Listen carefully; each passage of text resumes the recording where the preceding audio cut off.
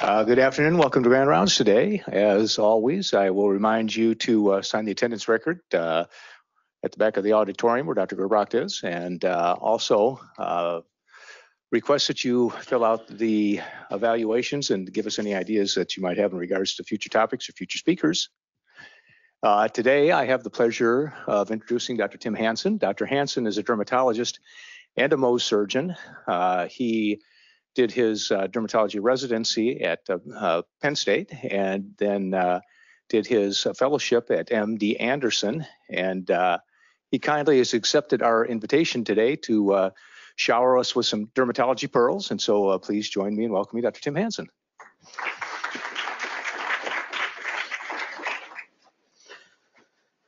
Thank you. Um, I was telling Dr. Hallberg it's been probably since my residency since I've given a talk like this, but uh, I appreciate the opportunity. Um, and even though I primarily practice Mohs surgery, I one thing that attracted me to dermatology was the variety that is offered in all the things you can do within the field of dermatology. So I still do practice general dermatology one day um, a week, seeing all kinds of patients. Um, and as I was approaching what to talk about, you hear about pearls a lot. I'm hoping to hone in on things that I've recognized as potential practice gaps between dermatologists and other uh, physicians. And hopefully I can close some of those practice gaps, give you some diamonds, if you will, to uh, to to help you recognize things that um, may otherwise be more confusing. Um, I don't have any conflicts to dis disclose. I'll see if I can get the technology to work. There we go. All right, so I'm going to start by talking about how to describe skin findings. Um, whenever you consult a dermatologist, I will admit that if you use certain terms that are non-specific, sometimes we chuckle in the back of our minds or whatever. If, uh, and so hopefully I can give you some key descriptors that actually it can be quite helpful if you describe things in our vernacular in dermatology. I joke with students who rotate with me and whatnot that we like our adjectives in dermatology. So a lot of adjectives going on. Um, I'll also describe some inpatient cases, some more serious cases that have skin manifestations um, as well as some more routine outpatient type of cases. Um, I will talk uh, mostly about uh, systemic diseases that have skin findings, but I will also talk about um, skin-only conditions, um, which we see a lot of. And then I'll briefly review some of the treatment of most common diseases. Uh, I'm going to start off actually pretty slow, and then I'm going to kind of ramp up in how fast I'm going through things. So um, hopefully we can get a good momentum going.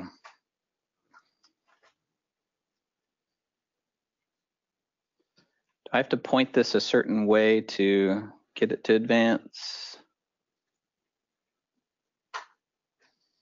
I'm just going to use the computer. All right. Um, the one conflict of interest that I will describe is the the chair of the department I trained at is Dr. Marks, James G. Marks, and the current chair, actually, he's retired, is, is now Jeffrey Miller. They wrote this wonderful book. If you're looking for a good general dermatology reference that's accessible for a primary care or, or non-dermatology specialist, this would be a good one. It's in its sixth edition now. I used my old fourth edition that I had from their time, but um, it's a good, we're good. It's a good uh, reference for you. So real quickly on the descriptors, when things are a bump coming up out of the skin, we refer to them as papules. You can kind of see the histology, what it would look like um, underneath afterwards. Okay. Um, whereas if it's flat, but there's an obvious lesion or discoloration difference between the surrounding skin, we call it a macule. So papules and macules, if they get bigger, the papules become plaques. So bigger than one centimeter, we generally say it's not a papule anymore, now it's a plaque. Um, whereas if a macule gets bigger, it becomes a patch. Um, so papule help and plaque helps us know the size of what we're looking at, and macule and patch also is a more of a size issue.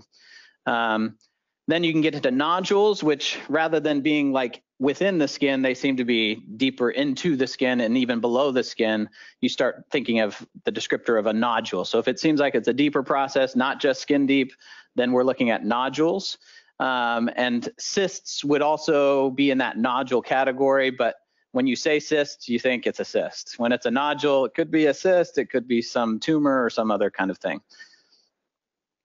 Then we have vesicles or bullae. Vesicles are just small blisters. Bullae are big blisters. Usually bullae um, are deeper blisters that have more of a tense fluid filled nature. Vesicles oftentimes uh, what you see is actually an erosion because the roof of the vesicle has come off and so you see little what used to be vesicles. And then you have pustules, which are kind of like vesicles, but they're filled with neutrophils, and that exhibits as a white pus type of material. And I mentioned this term erosion. So when vesicles have the top layer of the skin come off of them, we refer to it as an erosion. So a very superficial denuded layer of skin, um, whereas an ulceration would be a full thickness um, loss of skin of various depths. And then you have fissures, which we often see on acral surfaces like the hands or feet. Um, and they're more of a, a, linear cracking of that stratum corneum, which is very thick in those areas and so it presents as a fissure. Then instead of hives, we like to use the term wheal, um, but that's more, or urticaria. Um, so that's more of a dermal swelling, um, as you can kind of see in the in the, the histology down below. So you just get some fluid pushing the skin up a little bit. That is would be a wheal. And telangiectasias is how we describe the superficial blood vessels that you can often see whether it's on the face or the lower legs, more commonly associated with varicose veins or rosacea. And then some final descriptors that I'll talk about is instead of scabbing, we use the term crusting. Um, so if it's a crusted, and sometimes we'll combine things. So in this mouth here, we would call it uh, cr crusted erosions is uh, oftentimes how I would refer to that. Um, but crusting is another term we use when there's scabbing involved. Um, scaling um, can happen on patches, can happen on plaques, but it's good to know if something's scaling or not. That helps us put something in a category. Um, in dermatology, we're putting things in differential differential diagnoses, and scaling actually can put it in one category versus the other. Same with these other descriptors. That's why we use them. It helps us narrow down what may be going on.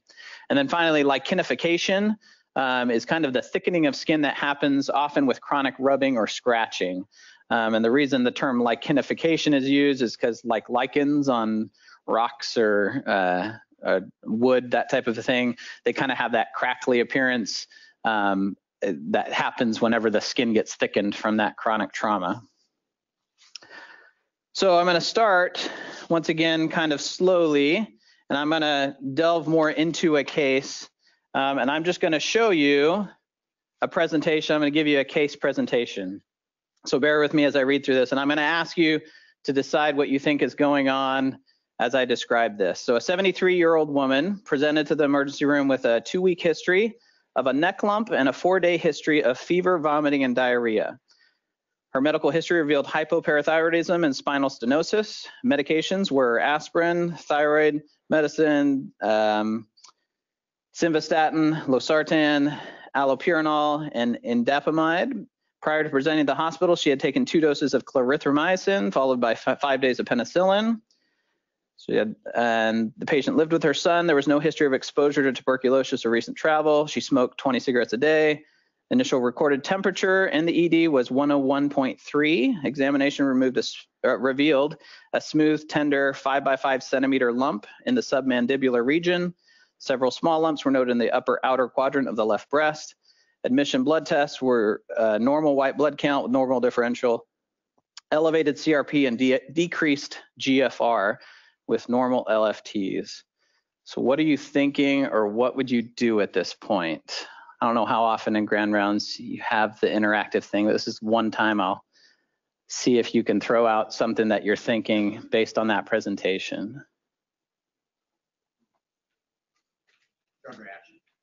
Drug rash, that's a good thought. You're telegraphed. a lot of these signs you see with infections too, right? So she has an elevated temperature, fever. She's got big swollen nodes, it seems, maybe even a submandibular abscess or something like that. So she was actually admitted with the presumption of infection, but she had had a lot of exposures to medications. So my point is going to be always keep drug reaction on your differential, in particular, more serious types of drug reactions. Um, so an ultrasound revealed multiple reactive nodes, which were thought to be due to an infection. Fevers continued, and then you get this non-pruritic morbilliform rash uh, um, on the lower limbs, and then involving the trunk and the upper limbs. They converted the antibiotics to IV antibiotics. Things were not getting better. And then finally, they transferred the patient to an infectious disease unit and sought a dermatologic opinion. Um, she continued to develop worsening fever, uh, had difficulty breathing, those types of things. She developed this around her mouth, um, which hopefully when you see this around the mouth, drug rash goes up on your differential. Um, and oftentimes when we see this rash, we actually think of a certain drug rash called Stevens-Johnson syndrome, which I'll talk about. But in this case, this kind of a rash with crusting around the lips is also seen in this other condition. Um, and that condition is called DRESS syndrome or drug reaction with eosinophilia and systemic symptoms. Um, and this is in that category of severe drug reactions. Probably the more popular drug reaction that's severe is Stevens-Johnson syndrome or toxic epidermal necrolysis or TEN. But DRESS um, is equally, in my opinion, serious as far as um, needing to recognize it. And the gap that I would like to narrow with bringing this to your attention is there's been multiple occasions during my residency training where we were consulted in the hospital for a patient being treated for sepsis. And on consultation, we were able to diagnose DRESS syndrome and and that was important because they needed to shift their treatment paradigm and actually give these patients steroids and withdraw antibiotics as opposed to continue antibiotics and not give steroids. So, um, and sometimes there was a back and forth in trying to convince the the consulting team that this is what needed to happen. So hopefully this can be on your differentials if that ever comes up when sepsis doesn't quite seem to be responding as you expected, especially. Um, so DRESS usually occurs two to three, two weeks to three months after drug intake. Um, as the name implies, eosin eosinophilia is involved. So your eosinophil count on the white blood count is a key indicator that if you see that above uh, 1,000, that you want to be concerned about it. And also one thing, it's a subtle clue, but if you have facial edema and edema in general um, of the extremities, it's probably best if you catch that before they've been given a lot of fluids because then that can confound things as to what the edema is from. But especially facial edema and peripheral edema is uh, pretty characteristic and seen in, I'd say, virtually all of these patients. Um, lymphadenopathy is very common and visceral, visceral involvement is very common. Uh, we often see liver function tests going up and up as time goes on. So that's the other clue. If you see LFTs increasing in addition to the eosinophilia, in addition to have the having this drug rash, uh, or this, I call it a drug rash, in addition to have this, uh, we call it a morbilliform eruption.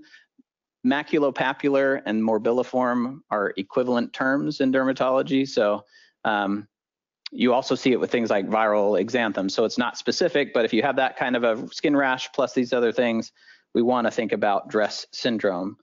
Um, the other important thing to uh, consider is with visceral involvement, it is very commonly associated with um, delayed, uh, auto, almost autoimmune type conditions, especially with the thyroid.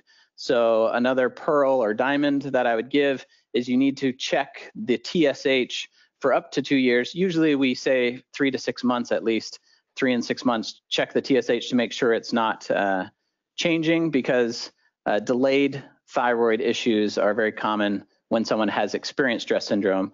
Um, and then it's also important to not give short courses of steroids. It needs to actually be tapered over a, a three month period usually.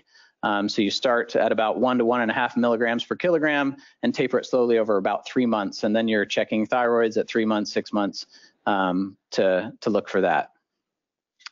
All right, and then as with any drug reaction, trying to highlight the offending medication is a challenge, but also important, and withdrawing that medication so that it, that the reaction can subside. Um, typically with drug reactions, um, anticonvulsants are very uh, common offenders, so uh, anti-epileptic drugs.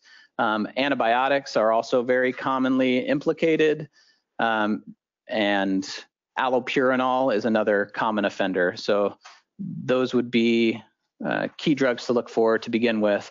Um, there are case reports of a lot of other medications doing it though, so it's, it's not always cut and dry, but if you see one of those, that's a good place to start. So the difference between DRESS syndrome and Stevens-Johnson syndrome or toxic epidermal necrolysis is primarily the mucosal involvement. So interestingly enough, this lady on the, the left here, we saw in the hospital and looked like this. Um, but as we were able to identify things and remove the offending drug, um, she actually was off the ventilator and looking like a completely different person in like a week or two later. Um, so we were able to catch it before it developed into TEN, um, which would require more long-term treatment in a burn unit. Um, the things to think about with SJS or TEN, Stevens-Johnson syndrome is defined as 10% or less of body surface area involved with these blistering, which you can kind of see down here on her neck, the erosions on the skin and the, the bullae of the skin, 10% um, or less. And then there's an overlap between 10 and 30%. Once you reach 30% or more, it's called toxic, toxic epidermal necrolysis. And those patients need to be transferred to a burn unit as soon as possible and managed as a uh, burn patient.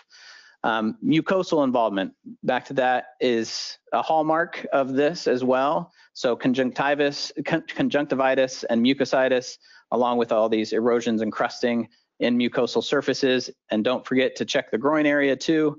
Um, if there's any other point I can drive home is please look at the skin whenever you're examining a patient too. It can give you some good clues to what's going on. And even in the covered areas, which you may not typically uncover. Um, so this is another severe drug reaction where withdrawing the offending medication and the list of medications is very similar um, is important to recognize. The final drug reaction that I'll review, it's less serious. It's called, we call it AGEP or acute generalized exanthematous pustulosis. Um, so going back to the morphology, you can see that these almost blister-like areas filled with white pus we call them pustules. They're filled with neutrophils. If you did a biopsy of this, it would show a lot of neutrophils just in the surface of the skin. Um, it's another drug reaction. Withdrawing the offending medication, the skin will kind of peel off, resurface. It's not a deep process, so we don't worry as much like the TEN for burn type stuff. This is more of a superficial process, so everything will flake off and the rash will get better without um, significant sequelae typically. So that that's the drug reaction side of things. I'm going to shift gears. So we see this morbilliform or maculopapular rash in a patient, and oftentimes we're consulted as dermatologists on the oncology unit, somebody who just received a bone marrow transplant, and we're asked, is this a drug reaction or is it GVHD? Um, and Unfortunately, our answer is yes. it is a drug reaction or GVHD um, or graft versus host disease. It's not something you can easily tease out, and I'll explain that a little bit. So a drug reaction usually starts one to two weeks after starting a drug, and usually around the time of bone marrow transplant, patients are exposed to a lot of different or new medications. GVHDs usually around the same time frame, actually, after the transplant both may have a fever, both, and, and we're often asked about biopsying it. The biopsy is usually not helpful with acute GVHD versus a drug reaction. They have so many overlapping features. It shows what's called an interface dermatitis. So I'm aware that the criteria for diagnosing GVHD includes a biopsy supporting that. So if you just aren't sure if it's GVHD, but it's not going to distinguish between a drug reaction GVHD. So getting a biopsy for that reason is not going to be helpful to distinguish the two. Um, there's a soft thing, which I'm not too sure of, about drug reactions usually starting being centripetal, so it goes outwards versus uh, centrifugal going inwards. GVHD tends to start on the outside and go in versus in and out, but I don't think that that's a reliable indicator because I've seen both go different directions as far as the rash where it starts and goes. Um, drug reaction eosinophilia can be a soft uh, way to distinguish it too if they have a high eosinophil count versus uh, GVHD. Uh, one of the biggest things to support GVHD is if they have other visceral involvement, so have bad diarrhea or liver involvement. Um, I would say that would be a little more supportive. Um, once again, DRESS syndrome can have multi-system involvement, so it's not a slam dunk. Um, but DRESS syndrome is quite uncommon, and if they've had a recent graft and have all these uh, visceral involvement, potentially GVHD, uh, I'd be more certain that that would be the case over a drug reaction. All right, so one other case that I just wanted to slowly go through.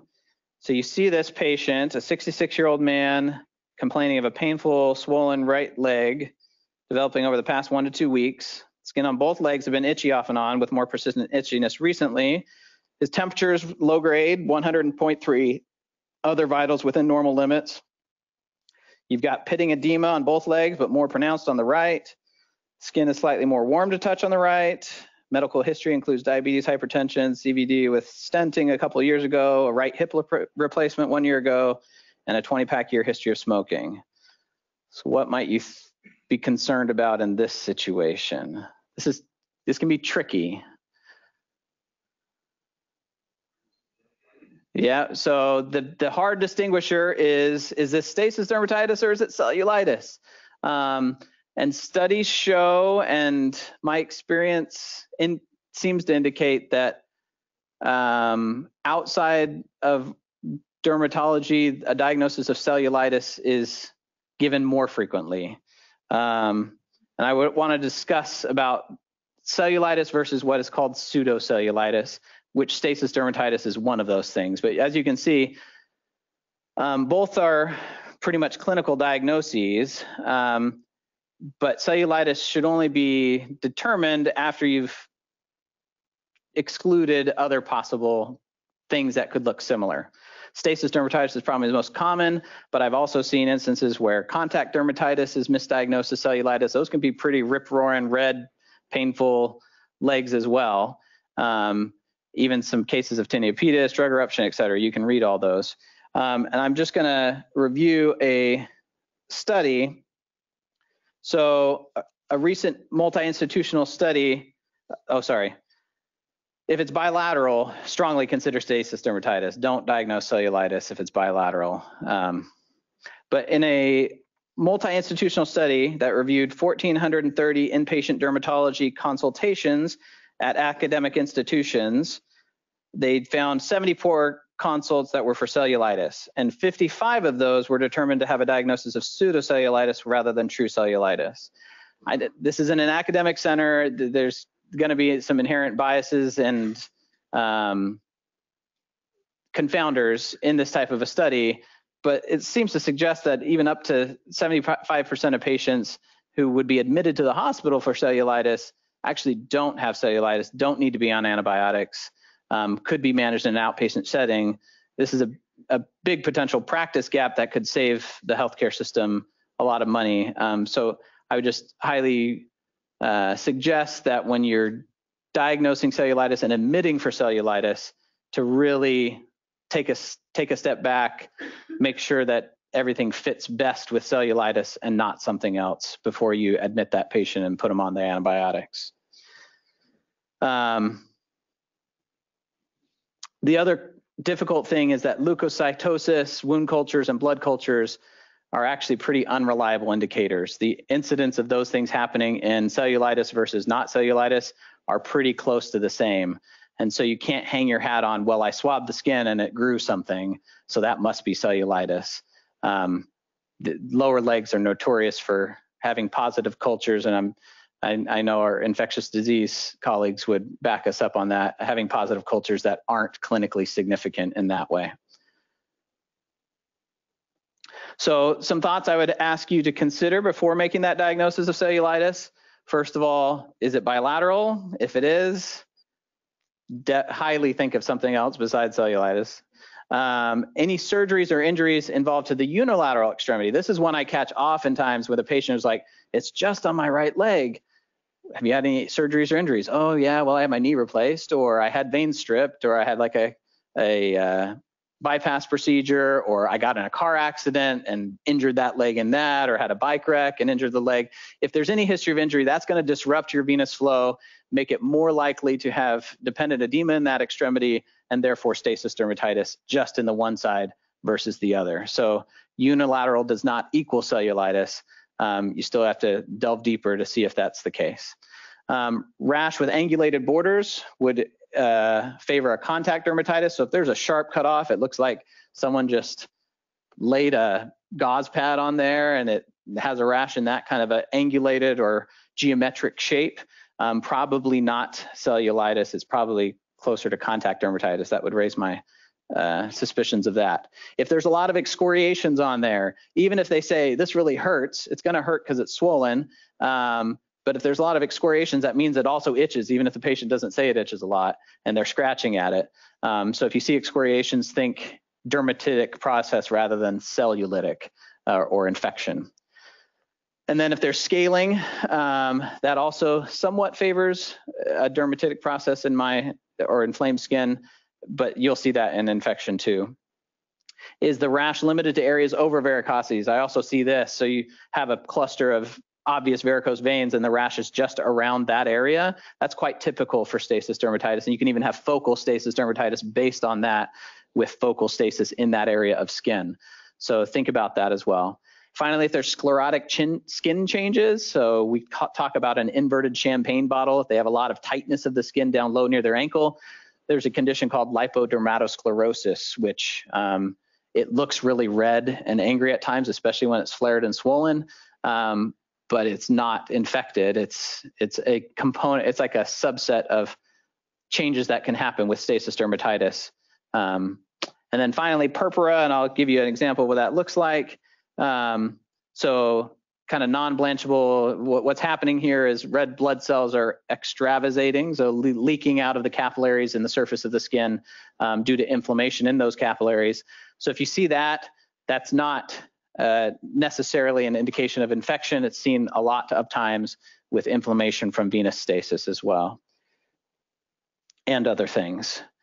And in that vein, um, I wanted to, so one condition we think about with purpura is leukocytoclastic vasculitis. This is very typical on the lower legs of patients.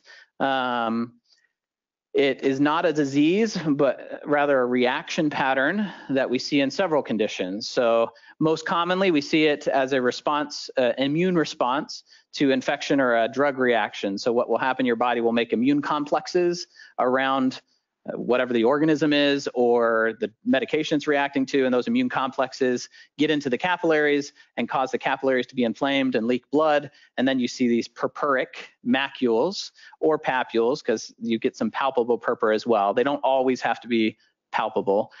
If they look like this, then that I would call purpura or purpuric.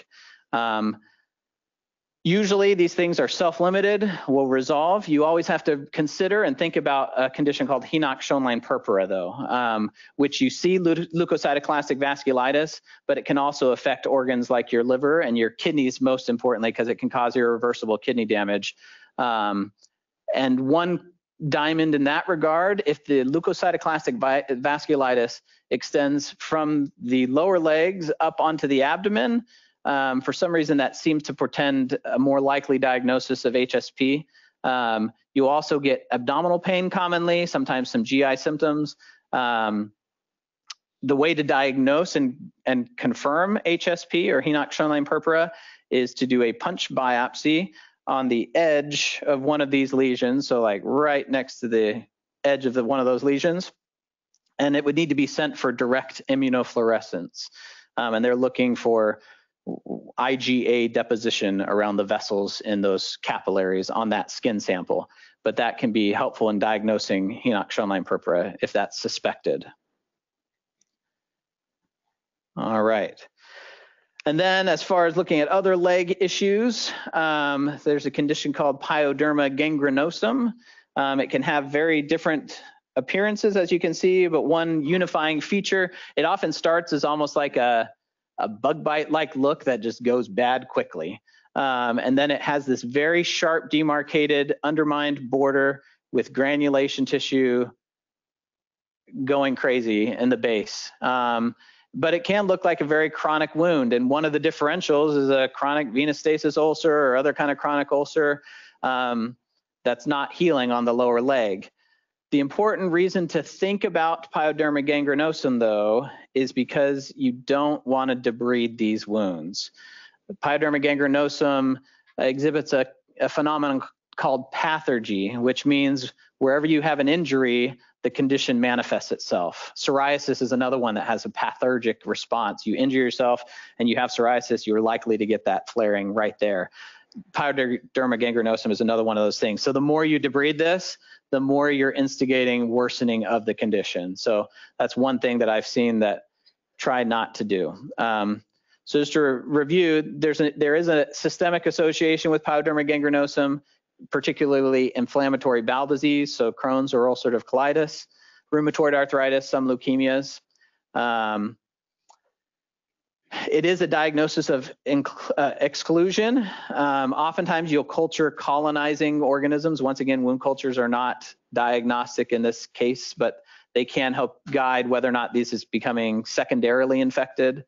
Um, it's, it's a sterile ulcer by definition, so it's not infectious ulcer has a neutrophil-rich infiltrate. A biopsy can be helpful in ruling out things, and if it has a lot of neutrophils in it, it would support a diagnosis of pyoderma gangrenosum. Um, typically how we treat these is with either intralesional or sometimes if it's shallow enough, I can get away with topical steroids under occlusion. So a, a potent topical steroid like clobetasol, even occluded to make it more potent, um, can sometimes nip these in the bud. Oftentimes we have to inject triamcinolone in those areas. In severe cases where they're not responding to those conservative measures, sometimes systemic immunosuppression with like a, a TNF inhibitor or um, cyclosporin has been used successfully in these cases. And then I'm going to more quickly go through some other systemic diseases that have skin findings. Um, there's quite a bit of overlap between connective tissue diseases, so rheumatologic diseases and skin findings. And then there's a host of genetic diseases um, that I'll just briefly review. So this is a patient that didn't came in not too long ago into my clinic. Um, you'll notice some puffiness there around her eyes, um, some of that rash. I want you to get try to get a sense for the color of this rash in your head and also the distribution of this rash. So you'll see how it seems to be pretty sharply cut off along the upper chest area. That kind of deep red uh, color is very typical of this rash too, and that kind of fine scaling. So if I was describing this rash, I would call it a uh, sharply demarcated, uh, scaly pink to violaceous patch.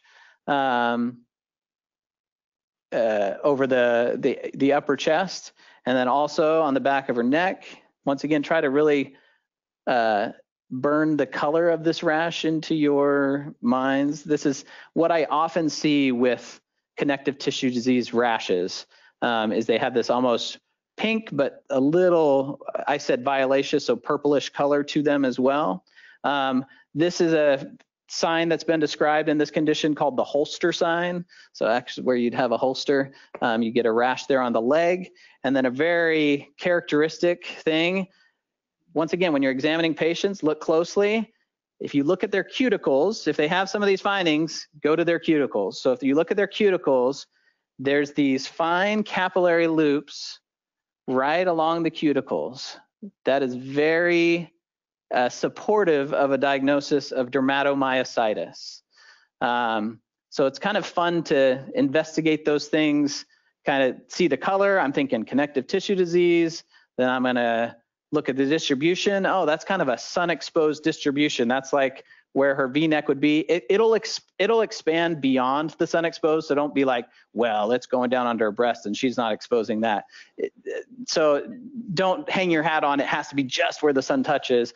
But generally in a sun exposed distribution, we call that the shawl sign. And then I go to look at her fingernails. She's got these. I'm like, this is dermatomyositis. So then what do you ask? If you see skin findings, ask about the muscle findings.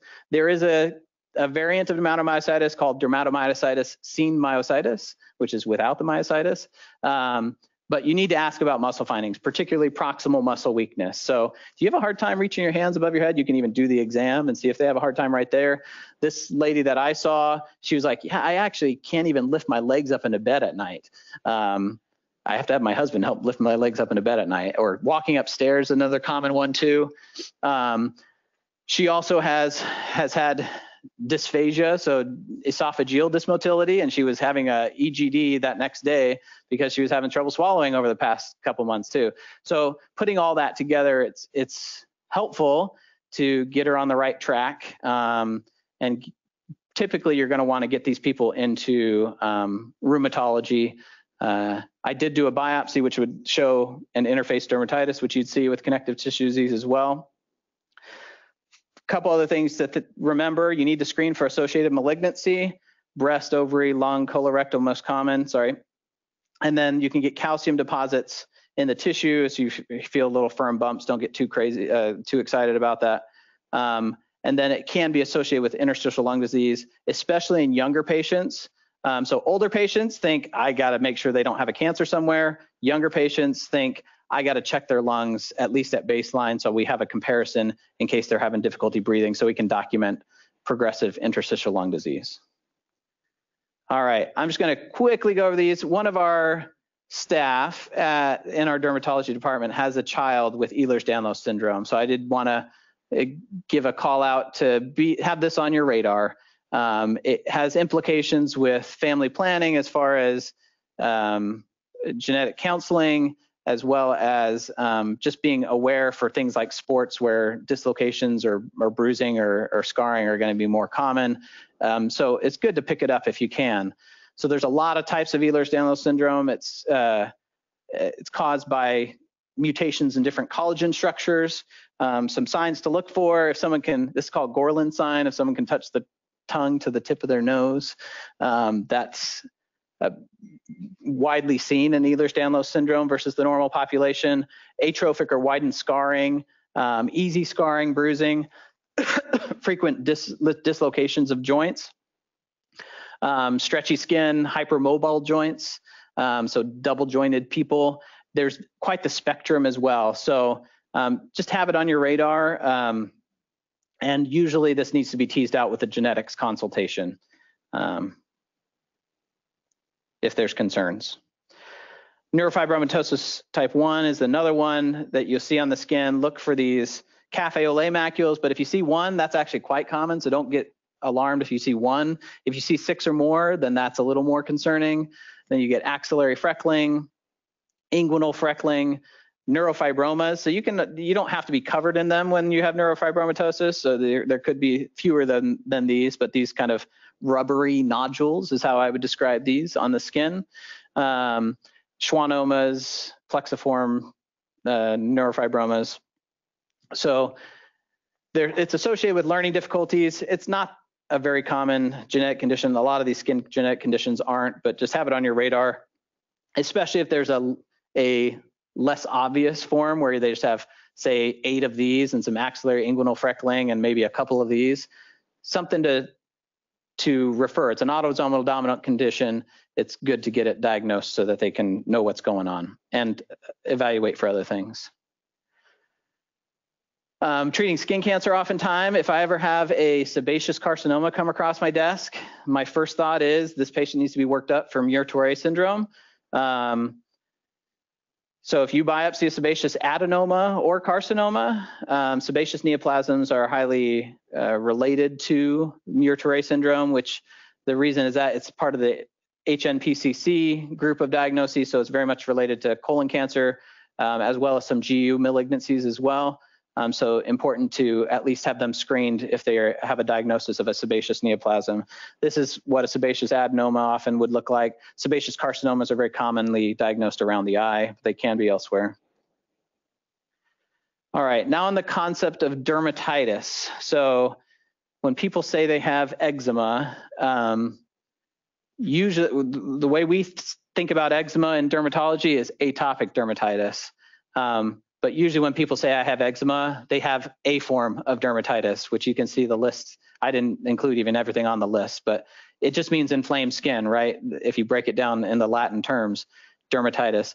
Um, Atopic dermatitis is one form. You also have irritant contact dermatitis, so irritation from chemicals or other substances, allergic contact, so like nickel allergies or that poison ivy prototypical reaction. Then you even have other things, seborrheic dermatitis. We talked about stasis dermatitis, psoriasis. I would put in a concept, a category of dermatitis, and then even reactive, so inflamed skin due to an infection or some other kind of exposure. Atopic, atopic dermatitis is usually in the flexures. Starts, it's the worst when you're a baby, and then it gets better as you grow older. I tell people most people grow out of it by the time they enter grade school. Um, there is a subset of adults who still deal with bad atopic dermatitis. Usually, if someone had atopic dermatitis as a child, they'll have problems with hand dermatitis as an adult. So um, and then it's often associated with seasonal allergies and asthma as well. We call it the atopic triad. Um, and then you have seborrheic dermatitis. What I've highlighted here are the seborrheic areas of skin. Those are areas that have high concentrations of oil glands in the skin. We don't know why people get flares of this. There seems to be some kind of a yeast component because antifungal azole creams seem to help prevent flares from happening, um, but it typically affects this skin near the nose and the eyebrows, dandruff around the ears. Um, that's in that category of seborrheic dermatitis. So when we're thinking about treatment of dermatitis, our number one go-to is usually topical corticosteroids.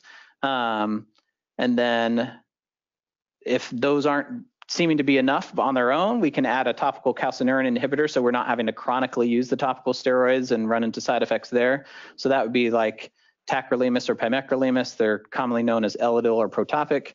Um, the next line of therapy we think about is light therapy. We have a light booth in our clinic that people can, if they have widespread uncontrolled dermatitis, instead of immunosuppressing them all the way, sometimes light therapy is enough. Um, and then the final go-to would be to systemically immunosuppress them if we can't get them under control how to use topical steroids. This is another thing that often comes up um, outside dermatology. First of all, don't be afraid of them. Don't tell people that their skin is going to shrink away and shrivel away if they use it too much, because I find that a lot of patients get scared by that and then they don't use it enough, and so that their skin doesn't get better. So um, you're not going to do damage quickly with topical steroids. Yes, if you tell them go willy-nilly for the next and don't see them for six months, then yeah, they may have quite a bit of atrophy and stria from from using them. But hopefully you're seeing them back to see if the treatment works, and then you can make adjustments there if they tell you, oh, I've been using this three times a day every day since I last saw you. Um, it's best applied on damp skin. That's going to allow the the medicine to penetrate best. So if right after the bath or shower, um, try to use lower potency steroids on the face, armpits, and groin. Use higher potency on the hands and feet, mid potency elsewhere. I'll give you examples of what those mean. I usually tell people long-term application should occur no more than half the days of any given month. So um, every other day, one week on, one week off, two weeks on, two weeks off. Try to get shoot for half the days of the month. If you're using it more than that, I'll have them let me know, and then I'll use a calcineurin inhibitor on those other days that they still feel like they need something. So there is so many topical steroids out there. I try to break it down easy for you. These are my go-tos. They're all generic. Um, for some reason, generic clobetasol, the price has been shooting up, as is the case with a lot of medications nowadays. So now I'm shifting over to using halobetasol because it seems to be more reasonable priced. Um, but I would choose something. You don't need to like look at differences between other ones. So hydrocortisone, two and a half percent, or desonide is a good low potency. That's the face, armpits, groin. If you have a rash there, seborrheic dermatitis, um, other dermatitis in those areas. Once again, the medium potency topical steroid, I use triamcinolone 0.1%, um, and that would be for the body, arms, legs, that type of thing. if you're on the hands and feet, high potency topical steroid, augmented betamethasone is probably going to be your cheapest option, um, although I don't feel it's quite as potent as clobetasol or halobetasol. So my first go-to is usually either clobetasol or halobetasol. As a general rule, ointments are going to penetrate better and be more effective than creams, which are more effective than lotions. So if you can get people to tolerate a greasy ointment, that's going to be better. Or if the rash seems really bad, you're like, can I give you an ointment to begin with? And then cream would be the next best. I'd stay away from the lotions. All right. Um, real quick, an adult male with a rash on his scrotum or groin, not responsive to over-the-counter topical antifungal cream. What do you do? Treat it with more antifungals? No, biopsy it. Um, so Paget's extramammary Paget's disease is something that um, often takes people a while to get to us in dermatology. They've been trying to treat this with jock itch stuff for two years before we see them, and they're like, ah. And this can be quite infiltrate or expansive. It doesn't go deeply usually, but it can be quite wide areas of expansion. So don't give them a long time trying antifungals. If it's festering and not responding to antifungals within a couple months, don't be afraid to take a little biopsy of that, um, and it can save them hopefully some uh, deforming surgeries. It's an uncommon skin cancer, but it often appears around the genitals, anus, perineum, or groin or axilla, and it can be associated once again with an underlying GI or GU malignancy. There's certain staining patterns pathologically that might indicate that, but it's probably good if they if it's appropriate to screen them for colon cancer or GU, GU malignancy. We often have to do scouting biopsies around the edge because that can extend quite a bit beyond. So this could definitely be involved all the way in this what appears to be normal skin um, all around the area. So we often do scouting biopsies to try to get the extent of things. All right, last final stretch. Now we're going even faster, but you have these in your notes. Acne. I'm not going to review all these treatments, but this is what I would do if people have these types of acne. Warts, don't use over-the-counter wart freezers. They don't get cold enough to really kill off the skin well enough for the warts. I would consider if you're interested, and hopefully some of you are, because it's hard to get people into dermatology. Um, if it's not responding to freezing, a, a, good adjunct, and especially if it's periungual or if they have a lot of warts, um, consider injecting this candida antigen in. Um, it's an immunotherapy. It stimulates their immune system to attack the wart virus. And it doesn't work better than other wart treatments, but it works differently and it can work for things that don't respond to the destructive treatment. So you inject it into the base of your biggest wart or the wart and kind of in the middle of the area of warts, um, about 0.2 milliliters injected into there. You repeat that every four weeks give it a few times. If your wart keeps shrinking, keep doing it until it's gone. Um, if it doesn't seem to be working, then go to the next thing. That's how we, we do it. All of these treatments, you can have them at home, apply that 40% salicylic acid for.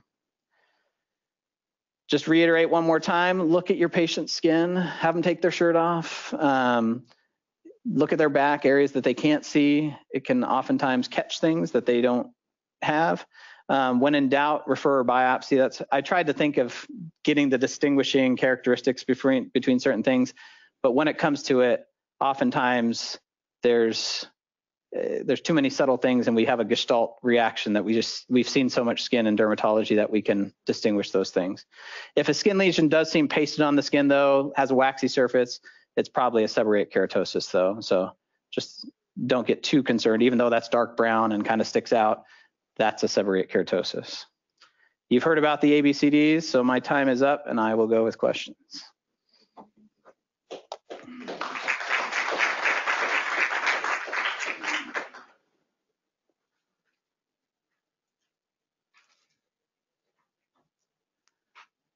You can ask about dermatology, things that weren't in my presentation too. I going through everything, it's hard to pick what to talk about, but